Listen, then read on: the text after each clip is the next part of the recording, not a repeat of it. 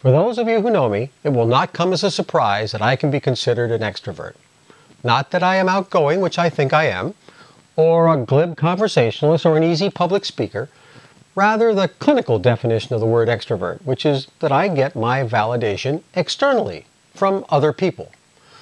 I have a man cave for 45 years of rally trophies. I relish the reputation I have for my involvement in the rally sport for over 48 years. I seek leadership opportunities because I like the spotlight. I love gold stars. I don't believe any of this comes as a revelation to those who do know me. While extroversion sits at one end of the spectrum, introversion sits at the other. Quite the opposite, introverts are self-validating. They pat themselves on the back and feel emotionally satisfied when they accomplish something.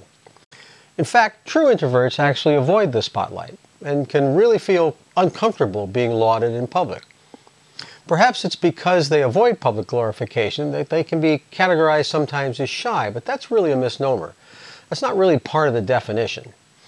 I'm giving you this Psych 101 lesson to explain something that has become quite clear to me what a significant drawback being an extrovert can be. There's a story here. A week ago, I agreed to play nine holes of golf with some friends, but I would have to be about a half hour late. We agreed when I got to the golf course, I could just skip whatever holes I needed to and catch up with my friends.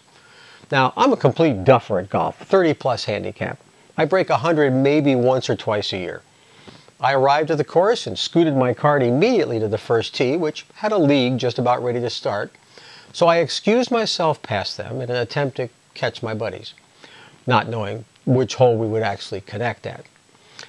I found the second hole abandoned, so I decided to play it. For the first time in my life, I parred this hole. Arriving at the third hole, same thing. Nobody there, so I played it. You guessed it, parred again. Only once in my life do I ever remember parring two holes in succession. Fourth hole, again, par. Fifth hole, par three. My friends were just finishing up, having put their tee shots in the dreaded water right in front of the green. I teed off and dropped my ball about 10 feet from the hole, two putted, and parred my fourth hole in a row. I'd never played this consistently in my life. Playing the last four holes with my friends, I, I parred one more and I double bogeyed the rest. But here's the data, the aha in this.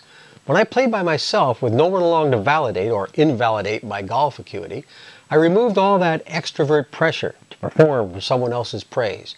I'm essentially a self-induced introvert, and it works. I never considered extroversion a drawback, but when underperforming in front of three other golfers upsets me, it's pretty clear I'm not at my best, and even making progress is impeded. I think you introverts have an advantage. Quite an epiphany.